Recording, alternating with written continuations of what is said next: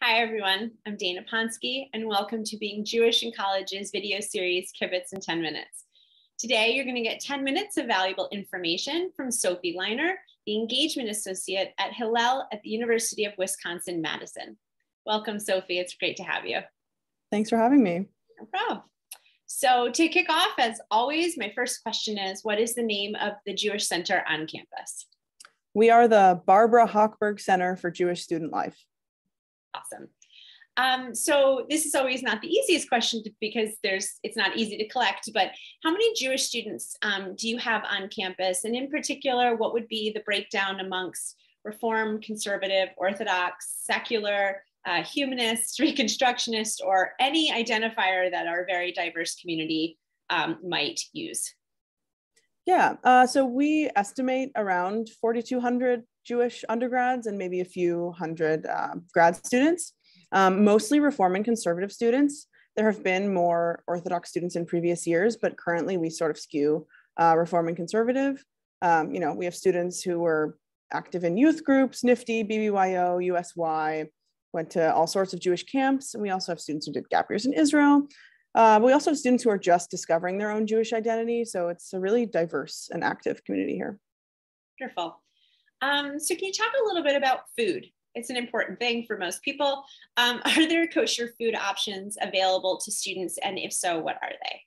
Yes, totally. Um, so, we have our own little cafe at, in the Hillel building um, called Adama. Um, you can pay with regular you know, credit card. You can also use uh, students like Red Card, which is the university's flex dollars. Um, we offer free Shabbat dinner every Friday night, as well as holiday meals and lunches for high holidays, for Passover. Um, and then there are also there also are um, kosher food options available a la carte in the dining halls.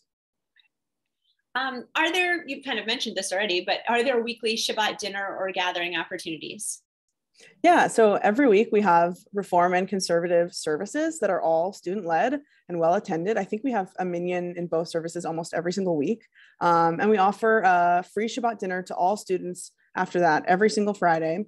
Um, we'll do themed Shabbats, Israel Shabbat, Greek life Shabbats. Um, last semester we had a totally wonderful um, all student led criminal justice Shabbat, which was wonderful. Um, and we also have a once a month Saturday morning minyan which is also student led, and they come to the building and have services and a little kiddush lunch for themselves. So we offer a really wide variety of Shabbat practices for people. Wonderful. Um, so thinking about just throughout the entire year, what is some of the most popular or well-attended programs that you have on campus um, for students? Yeah, um, I think our high holiday programming and welcome back barbecue are really well attended um, in the beginning of each semester. We do a ton of big social stuff, like we have a big Hanukkah party, we do Passover Seders. Um, we also have things like Hamantashen making and latke making, where we go into students' dorms um, and do stuff like that for them. Uh, we also do challah braiding every single week, which is really well attended. We offer learning classes that are wonderful. It's called JLF, you know, classes about life's big questions, social justice, Israel, um, I would say also our birthright trips are really well attended. We'll be sending multiple buses this summer, hopefully. Um, and one of the great things I think about us is that, you know, if you want to have big programming, we're going to have big programming. And if you want a smaller, more intimate environment, we can offer that as well. Wonderful. Um, so talking a little bit more from like an academic side, and you sort of actually brought this up, but are there any Jewish studies majors and minors um, or Hebrew language courses uh, that are available to students? Yeah, definitely. So this campus has the Mosse Weinstein Center for Jewish Studies. Um, it's a really, really wonderful program that offers both, I believe, a BS and a BA in Jewish Studies, as well as a certificate, which is Wisconsin's version of a minor. Um, they offer Hebrew language classes. One of the most popular classes that I find students really enjoy is called Jewish Humor um, which is really fun. And also here at Wisconsin, we have the Mayrent Institute for Yiddish Culture, which is really, really unique. Um, and there's a repository of more than like 9,000 historical recordings of Yiddish music. So it's a really unique, unique opportunity for students to, to learn about Yiddish culture here. That's awesome.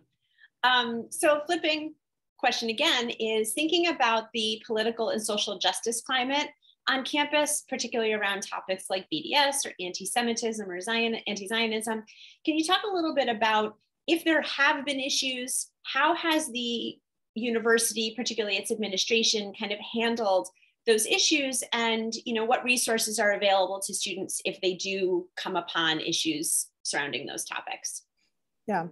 Um, we're really fortunate in that we haven't really faced systemic anti-semitism in a really long time i believe six years ago there was a bds resolution that did not pass Mm-hmm. Um, so, you know, there's no real barrier to Jewish students being able to participate in any aspect of student life. There's Jewish students in all branches of ASM, which is the student government here, in every club, every team, every Greek house.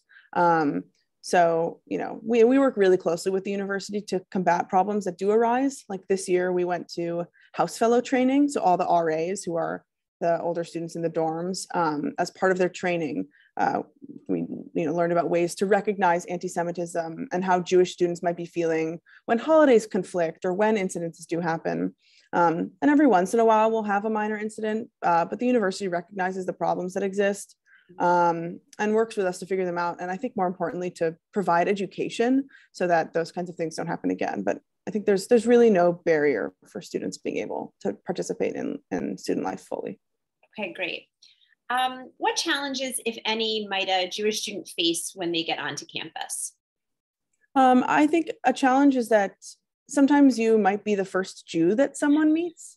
Um, we have students from all over the country and all over the world where there might not be a large Jewish community or even a Jewish community at all. Um, you might get some questions you've never had to answer before, but it all comes from a place of curiosity. And we always say if you have a roommate or a friend or someone who doesn't know much about Judaism, bring them to Shabbat dinner, bring them to our Hanukkah party, let them see uh, what we do really um, uh, for their uh, for themselves. Um, something else, students from warmer climates always ask us about the weather here. It can definitely be a challenge. It is the Midwest. It does get cold. Um, if you have the right gear, you will be just fine. There's also a bus system that runs and students get a free bus pass. So you can take the 80 all around campus. So you don't have to be so cold. Wonderful. Um, so what's one interesting piece of information about the University of Wisconsin-Madison that you would want people to know? Yeah, um, I saw a fact recently that was one in every like 790 living Americans has at least one degree from UW Madison. Um, so we have a really diverse and connected alumni system. So you'll find people who want to support you in your career and in your journey once you're once you're done here, which is really incredible. And also, we're actually the second oldest Hillel. Um, and in 2024, it's going to be our 100th anniversary. So that's really exciting. Oh, mazel. Thank awesome. you. um, okay, so finally, what do you love most about working with the Jewish community at the University of Wisconsin Madison? I think my favorite thing about the Jewish community here is just the diversity of students. We have people from everywhere who practice everything and really crave a broad range of programming. So, you know, from Israeli cooking class to learning about monsters and Yiddish lore to mock bar mitzvahs to food drives to challah baking. Really, it's so fun to get to work with students who are so curious and open and, and really want to build their own unique, like Jewish future. Wonderful. Well, those are the 10 questions. That was fantastic. So thank you so much for participating. And we're looking forward to sharing information about the University of Wisconsin-Madison's Hillel and how students can learn more about, even more um, beyond this video. We'll provide information to everybody about how to get in touch with your office. But thank you so much again for participating. We really appreciate it. Yeah, thank you. All right. Thanks, everyone.